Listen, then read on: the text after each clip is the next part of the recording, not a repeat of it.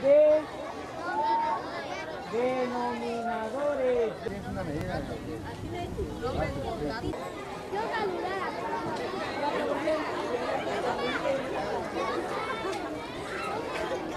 Como parte de las acciones de protesta que realiza la comunidad escolar de la primaria José Vasconcelos de la ciudad de Juchitán de Zaragoza, Oaxaca, se instalaron en la vía pública para realizar las clases a los más de 300 alumnos con los que cuenta este plantel. La demanda de los profesores y los padres de familia es que se concluya con la reconstrucción de las 14 aulas de la institución, la barda perimetral, la plaza cívica, una cisterna y una cancha de básquetbol, ya que a más de dos años del sismo del 7 de septiembre que dañó las instalaciones de este plantel, la obra no ha concluido y se calcula que hasta ahora lleva un avance del 60%, ya que constantemente se han estado interrumpiendo los trabajos, a pesar de que se cuenta con un seguro para este proyecto.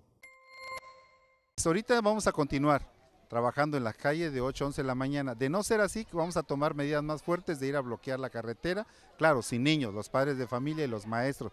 Pero esperamos de que las autoridades federales, estatales y municipales pues hagan algo, ¿no? Y, y, y entablen la mesa de diálogo para que podamos darle solución a esto.